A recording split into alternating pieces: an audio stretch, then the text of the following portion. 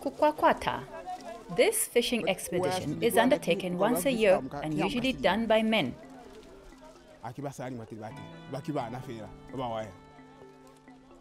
When they fish this way, however, accidents are common. People get stabbed. It is only in the hot season that they fish in this manner.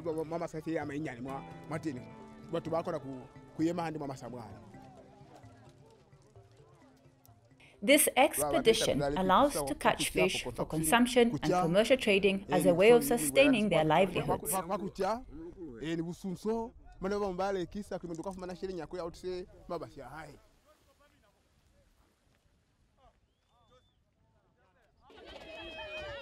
Women, on the other hand, catch fish in small rivers using their hands.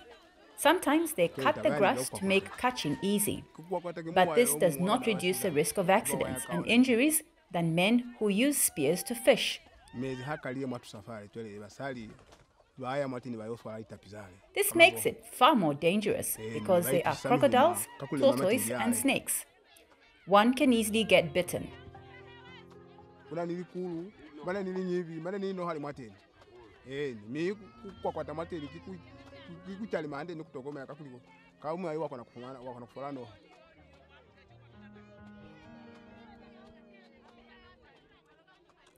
Kukwakwata is a long Barotse wetland tradition that has been practiced for decades.